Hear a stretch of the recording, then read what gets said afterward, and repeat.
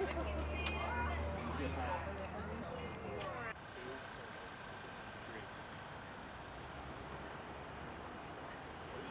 just have always loved her as a family. Um, my girls have grown up on her music, and so every album represents a different part of their lives growing up. My girls are 21 and 18, and we just think she's such a good person uh, for humanity and just represents uh, peace, love, joy, and we need more of that in our world.